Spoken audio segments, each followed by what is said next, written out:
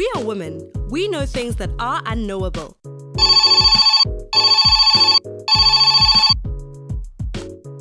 I remember when I first got my period. My mom had book club at our house, and she told all the ladies that I started my period. Embarrassing. But you know, after I thought about it, I realized that it's actually not that bad. Each one of those ladies has experienced a period in their lifetime, so they know exactly how I feel.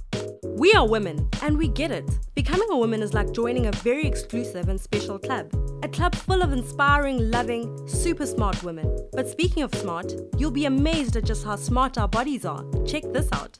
This is a diagram of your main reproductive system. Inside each of us are two ovaries filled with tiny eggs and two fallopian tubes that connect these ovaries to a place called the uterus.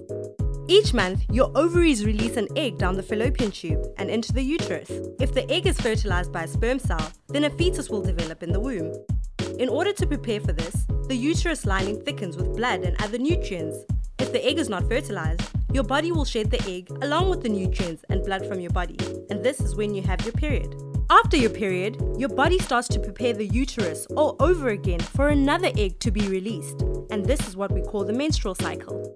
The menstrual cycle itself can last anything from 21 to 34 days, and the first day of that cycle starts with a period, which can last anything from 2 to 7 days. Remember, a period is simply nature's way of keeping your reproductive organs healthy and in good working order. For more detailed info, visit our FAQ page in the Just for Teens section on our website.